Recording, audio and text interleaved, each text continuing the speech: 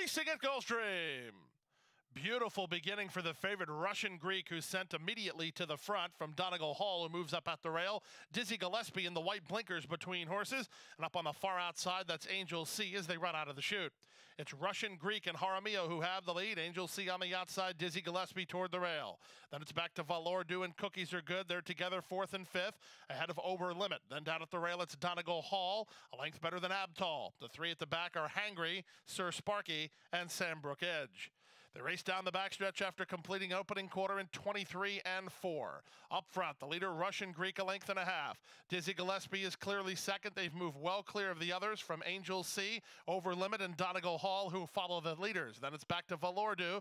Losing ground cookies are good. Hangry has an inside lane. Sir Sparky and Abtal are next, and four to the trailer, Sambrook Edge, as they round the far turn.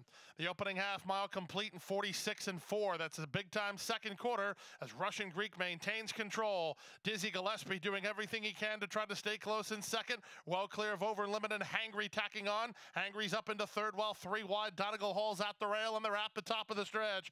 Hot and heavy confrontation up front with Russian Greek still in front, but Dizzy Gillespie still right alongside. Dizzy Gillespie now to put ahead in front. Russian Greek tries to answer the charge from second. Four lengths back to over limit and Hangry. Cookies are good from last. Russian Greek does have something in the tank. Jaramillo gets a little bit more and he's in front again again. Dizzy Gillespie not going down without a fight, and he's coming right back. Dizzy Gillespie with the momentum and the win.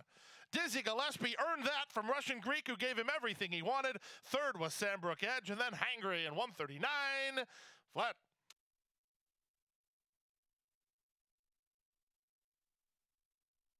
Exacta five eight seventy five dollars. Trifecta five sixty two seventy five. Superfecta seven thousand seven hundred twenty six dollars and ninety cents. 772.69 for a dime. First race high five did have a winner. It's worth $18,833.10.